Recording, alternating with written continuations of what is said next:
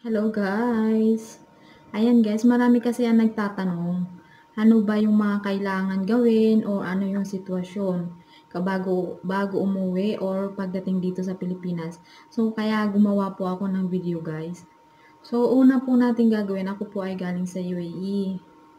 Ah, sa airport po, ang kailangan lang naman nila, ang tiningnan lang naman nila sa akin ay passport guys pinaka-importanting dala mo ang passport mo at saka ang ticket mo guys. So, yan lang yung pinaka-importante nilang kinuha lang sa akin. Tapos, nung mag-check-in na ako ng aking bagahe, eh, yung kung sino yung nag-check-in sa akin, sa counter, eh, tiningnan niya or tinanong niya kung meron na ba ako nung, may dala ba ako nung nag-register ako sa OWA at saka sa Red Cross eh, meron naman na ako, naka-prepare na kasi yung. So, prinin ko na siya, pinakita ko lang sa kanya, tapos pinagunan niya ako. Tapos guys, sa immigration naman, yun nga lang yung kailangan nyo, passport at saka ticket. Wala naman na silang ibang hiniling. Kahit po kayo eh, tapos na yung kontrata nyo or cancel visa na kayo, hindi na po nila hiningay sa akin yung ganon. Kasi sa, uh, sabi nila eh, nasa system na daw yun. Pero ako para sure, print ko rin yung cancel visa ko. Para if ever na hingin nila, eh naka-ready na rin. Kasi mas mahirap kung sa airport, tapos, sa airport ka na, tapos hingin nila yon tapos hindi mo dala. So, sayang yung time. Magmamadali ka. Baka maiwan ka pa ng airplane kung kulang na yung time mo. Tapos guys, may sabi-sabi sila uh, bago 6 uh, ah, hours before daw kailangan mong pumunta ng airport na kasi itetest ka daw nila para nga sa sakit. Pero, kaya ang aga-aga kong pumunta, yung flight ko ay 3.30 in the morning, pumunta na ako ng 9pm ng gabi. Tap, yun, ang tagal ko naghintay guys, pero wala pong katotohanan yung ganun. Hindi po sila magte-test sa UAE. Po, sa UAE po, hindi po sila nag-test ang test po is pagdating na po ng Pilipinas. At dahil po maaga akong pumunta ng, ng airport, ayun, eh, ang tagal ko din nahintay. Pero mas maganda na po yun. Mas maaga kayo sa airport, mas maganda. Kasi kung halimbawa meron po kayong aberya, eh, maayos nyo pa at meron pa po kayong time para hindi kayo maiwan ng aeroplano. Tapos, payo ko lang pala guys, lalo na kung yung uh, airline nyo is Philippine Airline, strict po sila masyado sa bagahe. Kung halimbawa 46 po yung inyong bagahe plus 7 kg na hand carry, kailangan po yung 46 hatiin nyo po siya sa dalawang luggage. Kailangan pong 23, 23. Kapag yung isa po ay naging 24 at yung isa ay naging 22, hindi po nila i-allow yun. Kailangan po balance. Kailangan po pareha silang 23. Kasi kung hindi, papabalikin ka nila para i-divide, ilagay mo isang kilo sa kabila para maging balance. Tapos pagdating naman po sa hand carry na 7 kg, kailangan po is talagang 7 kg lang. Hindi po kayo mag-exceed ng isang kilo kasi ang isang kilo po kung sa UAE yung galing ay magbabayad po kayo ng 110 dirham. Yan po yung na-encounter ko nung nakaraang uwi ko. Pero ngayong uwi ko kasi Cebu Pacific ako. Sa Cebu Pacific po eh hindi sila strict sa hand carry. So yung hand carry ko po nila, yung iba po kasi more than 7 kg pero hindi po sila nagtitimbang. Hindi po kagaya sa Philippine Airline na talagang may timbangan sila bago kayo pumasok ng aeroplano. Tapos guys, advice ko lang, uh, sa mga uuwi, kung kayo nagpabook po sa Cebu Pacific, magdala po kayo ng kumot. kasi hindi po sila nagbigay ng kumot nung ako'y umuwi. Yung company ko po kasi yung nagbook ng uh, ticket ko. So, nag, nagbook sila. Siguro mura ang Cebu Pacific. Kaya sa Cebu Pacific po sila nag, nagbook. Hindi, may pagkain po kami. One time meal lang sa 9 hours. Tapos, uh, hindi po sila nagbigay ng kumot So, kung malamig po sa loob, ay lalamigin kayo. Kaya magdala po kayo ng jacket or blanket. Tapos guys, isa pa po sa sasabihin ko, uh, magdala po kayo ng panangga or panangga. Kasi po, kung Cebu Pacific po ang inyong sasakyan, ay normal lang po sa, sila sa loob. Kasi po ina-expect ko kapag Cebu Pacific ang sasak uh, sa, or Cebu Man or any airline, ang iniisip ko po guys, eh, iniisip ko guys na one seat apart kami. Yung pala hindi guys. So, parang normal lang. Sa isang linya, tatlong tao yun yung normally, di ba? Pero, iniisip ko na one seat apart kami. Pero, sa Cebu po, hindi. So, kung ilang upuan, ganun din po yung tao. Kaya, kung halimbawang meron pong sakit talaga yung katabi mo, ay pwede ka pong mahawak. So, kaya guys, kung kayo sasakay po ng Cebu or hindi ko po alam sa ibang airline, kailangan nyo po magdala ng protection. Kasi in case man na may sakit po yung katabi nyo, eh hindi po kayo mahawa. Tapos guys, sa uh, pagdating sa, air, sa airplane po, sa, magbibigay po sila ng dalawang papel na pipilapan nyo. Ayon, pilapan nyo na po sila lahat bago kayo lumapag yung eroplano. Wala, wag po kayong mag-iiwan ng blanco. Kasi pag nag-iwan po kayo, pagdating nyo sa paglapag ng eroplano, yung yellow paper na pipilapan nyo, kukulik nila yan sa inyo bago kayo pumasok ng airport.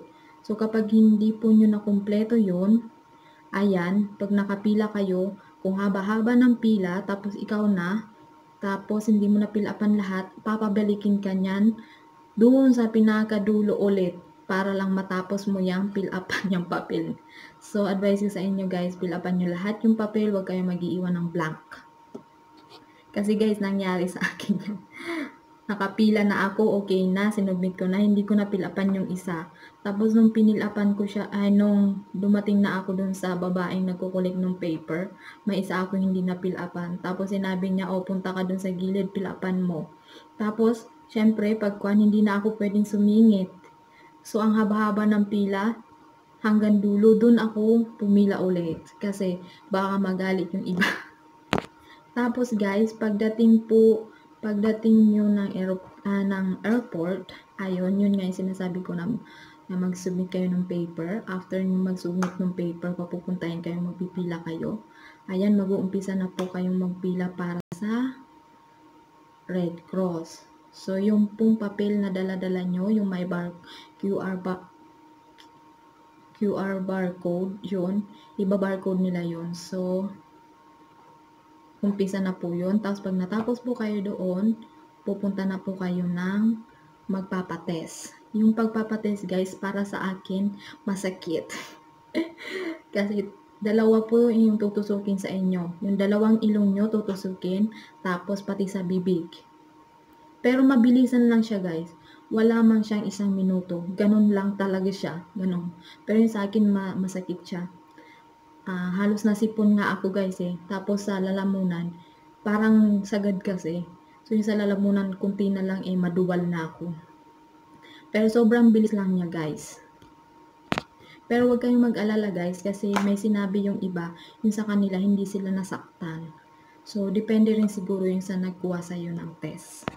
Tapos guys, after yung magpa-test, hindi ko na guys sinasabi yung isang word, yung SWAB kasi baka mapalo ako ni Lolo. After nyo po doon, ayan, ba, pipila na naman po kayo. Iga-guide naman nila kayo guys eh. Maraming naghihintay doon ng mga Coast Guard. So, hindi po kayo maliligaw. After ng test, guys, po, pipila na naman po kayo para sa OWA. Po, ang ginawa po namin, habang kami pumipila, nagbigay po sila ng pagkain. So, kumakain po kami habang naghintay kami. Nagbigay din sila ng tubig guys. So hindi po kayo magugutom. Yun po ay libre guys. Pati yung test ay libre kung kayo ay OFW. Sobrang na, sobrang tagal namin naghintay guys sa OWA kasi merong na, na merong naunang uh, mga uh, OFW yung umuwi, Emirates.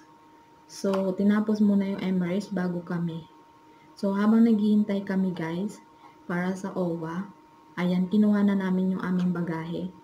Kasi yung bagahe po ay mahihilo kayo. Mahihilo kayong hanapin kasi hindi na hindi na gumagana yung conveyor. Ewan ko lang sa ngayon at ewan ko lang kung iba yung airline na sinakyan nyo.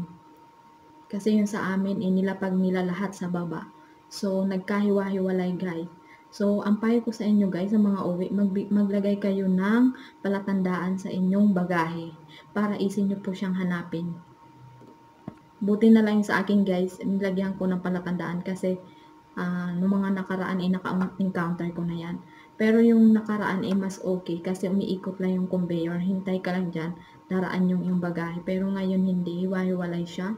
Nilagay nila sa lapag. So, ikaw yung iikot para hanapin ang iyong bagahe. Tapos guys, pag natapos na po yung hinihintay sa OWA, ayan kayo na po yung papipilahin. Meron po ulit kayong pipilapang papel doon yan, pilapan nyo po yun. Pag napilapan niya na po yun, pag kayo na, yung turn nyo na, ayan, uh, sasabihin nila sa inyo na lumabas na para sumakay ng, ba, ng bus papunta sa mga hotel. Pero ang nangyari po sa amin, lumabas na kami, pero hindi pa sa pinakalabas ng airport. Uh, tapos naghintay ulit kami guys kasi yung bus andun na, yung driver andun na din. Pero wala silang makita available na hotel. So after nun guys, sumakay kami ng bus. After namin sumakay ng bus, mga ilang uh, ah, 30 minutes ata yung nakalipas. Ayan, naghintay na naman kami. Kasi sabi nila, uh, ini hinihintay mo nang magkaroon ng bakante yung mga hotel. Tapos yun, after nun, ayan, pumunta na kami ng hotel. Uh, kami dito napunta po sa Marriott. Malapit lang po ito sa airport. Tapos guys, yung iba, kasi walo lang yung bakanting room dito, eh pumunta po sa iba, hindi na lang nila sa ibang hotel. Kasi guys, ang nangyayari pala, itong Marriott na ito, lahat ng naka-check-in dito is OFW na umuwi galing sa iba't ibang bansa. Ngayon, kapag nag lumabas na yung resulta, mag-check out na, Ayun, kapag may bakante, kung sino na naman po yung uuwing OFW, ilalagay na naman po dito. Ayun guys, yung pagdating po dito, uh, libre po pati yung, yung bus na sinakyan. Yan, ihahatid po nila kayo sa, sa hotel. Tapos guys, uh, kung ilang araw po kayo naka-stay dito, eh libre po. Libre ang pagkain nyo mula la, breakfast, lunch, and dinner. May kasama po yan tubig, meron din po kami dito.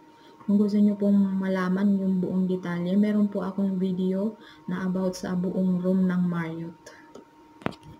Tapos guys, sabi nila 3 days lang daw kami mag-stay dito. Pero ako umabot na ako ng 4 days.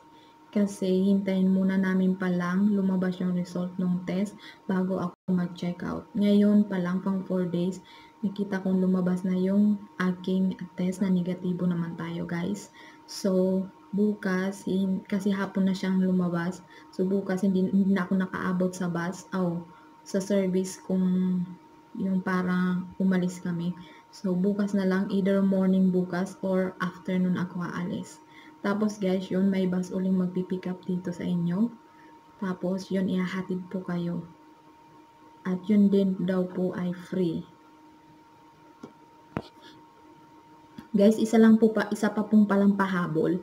Yung kailangan po pala, pag halimbawa po kayo eh, halimbawa ako gaya na, kagaya ko galing ng UAE, kung halimbawa pong nag-renew kayo ng passport, ako kasi nag-renew ako ng passport doon sa UAE kasi na-expire na yung passport ko.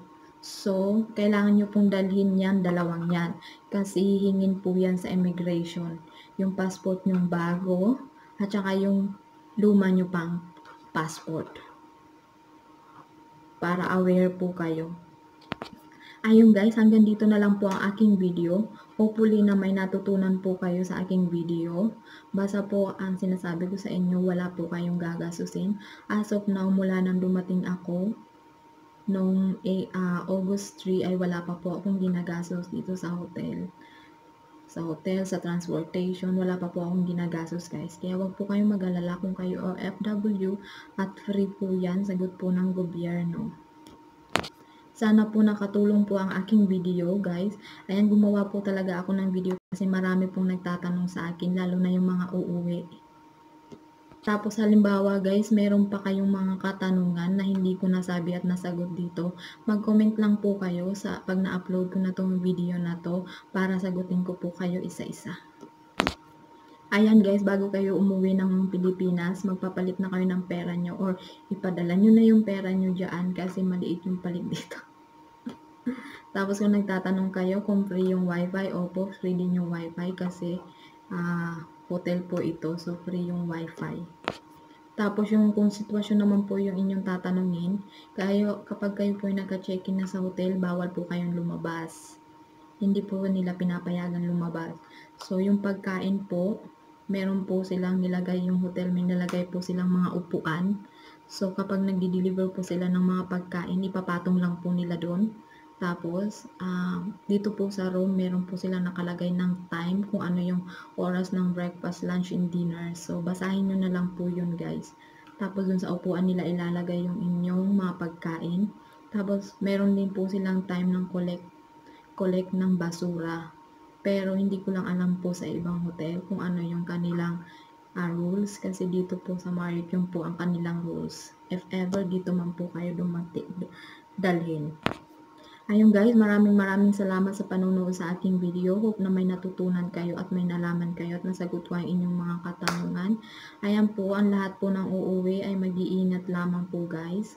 Ay isa pa po pula sa naalala kong sabihin, kapag kayo po ay hindi OFW at tourist po kayo, ay sasagutin nyo po lahat.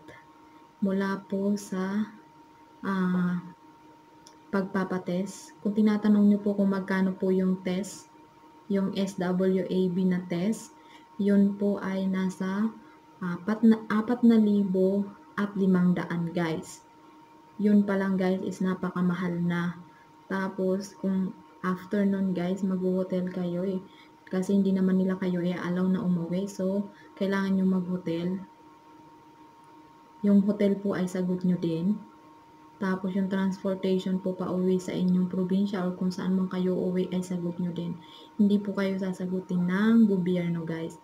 Kasi may na-encounter din ako guys, naawa ako dun sa bata. Kasi tourist siya, pumunta siya ng UAE para maghanap ng trabaho. Tapos naabutan siya ng ganyan, ganito nga, ng ganitong sitwasyon, ng sakit na to. Tapos ayun umuwi siya kasama nung pinsan niya. Yung pinsan niya OFW. So yung pinsan niya ay free lahat. Tapos yung bata ay maiyak-iyak na siya kasi yun nga sa test pa lang ay nasa 4,000 mahigit na. Tapos yung sa hotel, kaya sabi nga nung, sabi nung bata, naawa talaga ako guys. Kasi sabi nung bata eh, doon na lang daw sila matulog sa airport. Tapos papasundo na lang daw siya sa kanyang pamilya. Kasi taga Quezon province pa siya. So naawa talaga ako guys. At saka guys, isa pa pala, ayan, marami akong naalala guys. Uh, sa kwarto po, eh, isa lang kayo sa kwarto. Hindi po allow na dalawa. Kung kayo po ay mag-asawa, hindi po nila i-allow na kayo magkasama sa kwarto. Hindi ko po alam bakit ganon. Samantalang po sa Cebu Pacific, eh siksikan kami. pero sa kwarto, napakaluwang pero mag-isa ka. Yun po yung kanilang rules or uh, batas. Halimbawa po mag-asawa kayo, ang gagawin nyo na lang po is same kayong hotel, tapos magkaiwalay ng kwarto, siguro gawin nyo na lang ay magkatabing kwarto, gano'n na lang. Pero hindi po kami lumalabas ng kwarto guys. Kasi bawal pong lumabas ng kwarto. Tapos kapag halimbawa uh, nag-order kayo, uh, yung mga staff po nila eh ilalagay lang sa upuan ng inyong order. Kasi hindi po sila lumalapit sa amin. Kasi para kuan na rin po para sa safety na rin nila guys. Kaya naintindihan ko rin naman yon tapos guys kung tatanungin niyo about naman sa pagkain may meron naman akong video about sa pagkain nila. Lahat naman po ay nagugustuhan ko. Masarap po yung luto nila dito sa Marriott if ever dito kayo mapunta, ayan. Philippine food po, ako yung, ako yung nasasarapan naman kasi uh, na-miss ko na rin yung Philippine food. Tapos if ever may mga katanungan kayo guys, ayan, tumawag lang kayo sa telephone ng hotel. kasi ako lagi ako tawag ng tawag para alam ko yung informasyon, kung ano ba yung kailangan kong gawin kapag lumabas na yung test. Kasi guys, kayo rin yung um, titingin kung yung Red Cross ay nag-email na sa inyo kung kayo, kung ano yung resulta nyo. Or, pwede rin kayong pumunta sa isang website. Ayan guys, ipapakita ko ulit yung website kung saan po yung pupuntahan nyo. Meron po akong uh, kung may, yung mga tanong kung saan po, paano yung Tapos halimbawa naman guys, pag halimbawa nandito na po kayo, naka-check-in na kasi kayo sa hotel, tapos mga ilang araw na kayo dito, kayo rin po yung mag-check uh, kung nasend na po ng uh, Red Cross sa inyo yung resulta nyo. Either isi-send po nila ng email or pwede nyo pong i-check siya by online. So, papakita ko po sa inyo kung paano i-check. So guys, yung pupuntahan nyo po yan, red, redcross.com.ph.verify. So, papakita ko po sa inyo kung ano po yung lalabas. Ganyan yung lalabas guys. Yung control number guys, yan po yung dinikit nila na number sa iyong passport. So, makikita nyo po yan sa passport sa labas. Ididikit nila yung number na yan. Tapos, yung passport number, yung passport number nyo po. Pag nalagay nyo yan, eh, eh verify certificate nyo lang. Ayun, lalabas na po kung ano po yung uh, status nyo kung lalagay nila dyan kung okay na ba kayo or hindi pa. Kasi nung mga nakaraan chinek yung sabi nila eh hindi pa raw hindi pa raw nag-arrive sa kanila yung result. So, kaninang tanghali tiningnan ko, yun, nakalagay na doon na ako po ay negatibo. So, kapag okay na po yun, yan, sabihin nyo na lang po sa reception. Tapos, sila po yung mag a sa inyo ng mga transportation nyo para sa pag-check out nyo. Ayun guys, salamat. Papakita ko sa inyo kung papaanong mag-register sa OWA at saka sa Red Cross kasi isa yung pong requirement bago kayo umuwi ng Pilipinas. So, tara na guys. So guys, i-type nyo lang yan, yung oasis.owa.gov.ph Yan, enter nyo lang.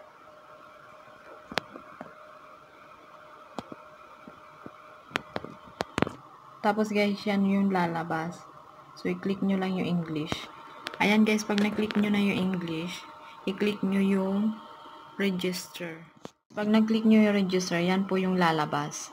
So, lahat dyan guys, lalo na yung may mga, ayan, yung may mga asterisk na red, eh, fill upan nyo po kasi yun, yun, ay mandatory. Or yun ay kailangan nila. Ayan guys, pag napilapan nyo na lahat, mag-aas po siya ng upload ID. Ako po yung nilagay ko eh, pinicturan ko yung sa passport ko. Yung passport ko, yung second page. Yun na lang po din yung isend nyo. Pwede rin yung po.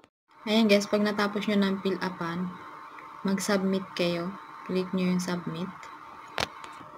Ayan guys, kapag natapos na kayo, may error, na, mayroong lalabas na ganyan. Record added successfully. Tapos, mag email din po siya sa inyo kung halimbawa kayo ay nabigay ng email ad nyo. Guys, ganun lang kadali po yung sa pag-register ng OWA nyo. So, ngayon, uh, itry na lang naman natin yung sa Red Cross. Yan guys, sa Red Cross naman po, eh, yan yung itatype nyo, yung website na yan. Tapos, guys, yan yung lalabas. Tapos, guys, i-click nyo lang yung register. Tapos, guys, may lalabas na naman yan. Yan, kailangan yung fill upan. So, fill upan nyo lang po silang lahat. Dapat yung sasabihin nyo dyan, eh, yung mga totoo nyo lang para maire-record po nila ng maayos. Guys, ganun lang po kadali. Ganun lang kadali yung mga kailangan nating gawin bago tayo umuwi ng Pilipinas. Ayan po eh, para hindi na po tayo maghabol dito pagdating natin sa Pilipinas. Lalo na kung pagdating ninyo dito eh, wala kayong internet. Sa bagay sa airport guys, eh, may internet naman. Kaya lang problema ako kasi hindi ako nakapag-connect kasi wala akong SIM. So, kailangan pag magkukunik ako eh, yung code niya, eh, send nila sa SIM mo sa Pilipinas. Eh, wala akong SIM. Kaya hindi ako nakakunik. So, buti na lang, bago ako umuwi, eh, nagawa ko na yung dalawang yan. Kasi yan yung pinaka-importante. Lalo na yung Red Cross, guys. So, thank you, thank you po sa panonood. Sana may natutunan kayo, guys. Kasi mas mabuti na po yung ready ang lahat bago kayo umuwi para wala po kayong problemahin sa airport. Ayan, salamat guys. Sana nagustuhan niyo po yung aking video at nakatulong sa inyo. Bye-bye!